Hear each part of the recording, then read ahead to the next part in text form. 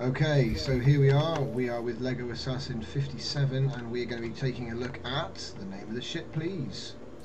USS Enterprise NX-01. Yep. And what is the length of this particular model here? Uh, it's half size, 116 meters. Ah, half size NX. I do like that. I do like that. I bet she handles well. Yep. Very nice. Nippy little thing. Yeah, it looks it because it's so. Th it's not. It's not. It's not tall, is it?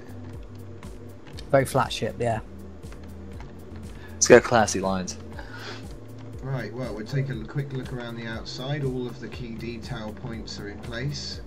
I The- th- didn't think it looked finished without the ribbing, so I put that in. Yeah.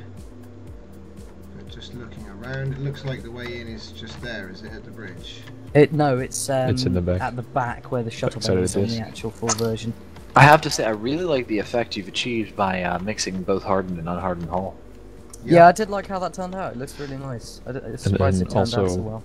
Also, how he did the uh, the nacelles with the blue light sand ice crystal. Yeah, I first saw that uh, normal and hardened on the Gaia Sun builds, but the split warp nacelles is a really nice touch. What you- with the bar going down? Yeah, because you get away with putting that bar on. At a distance, it looks right. But you wouldn't think Yeah. it was up close because it kind Yeah, of sticks out. Because uh, I, I use images as well. Actually, I use my model of the NX-01 to make it. So Yeah. So moving inside, let's have a little walk down the corridor. the interior flows. It kind of goes from the back through the sh- through the um, engineering down the corridor with the sick bay on the left, and then then in there there's a main little corridor with the core room with a turbo lift at the back of the bridge, and then there's some quarters at the front. There's some nice little windows.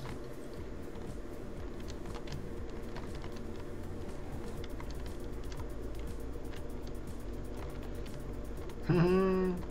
Look at this bridge. Have to have a cozy little bridge because of the half size. Right, number one. No, that's TNG. That's true. right, Commander Tucker. I have to admit, nice. haven't actually seen Enterprise yet. Really? Nope. You call yourself a Trek fan?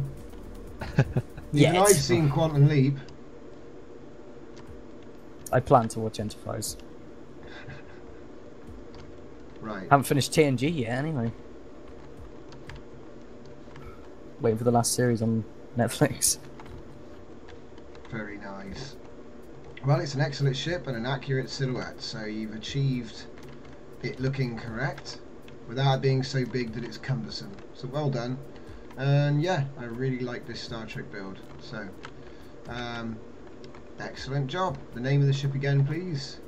NX-01 Enterprise. And it's half scale, and obviously this is Lego Assassin 57.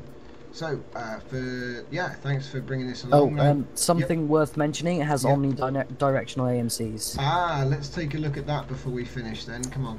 I'll go up, otherwise I'll hit someone. No, just just turn 45 degrees. Well, it, oh yeah, because it's. Yeah. I'm not sure which is which direction, so I'll just Yeah, fire them in the order I've got them on the hotbar. Okay. Are you firing them? Because I can't see anything. I can't see them either. Right. Neither can I. I'll be right back in one second, actually. That's all right. So basically, um, yeah, you've got the option of staying here or flying off at this point. So it's your choice. I'll just stay here then. Okay, excellent. We're going to move on to the next person in the review.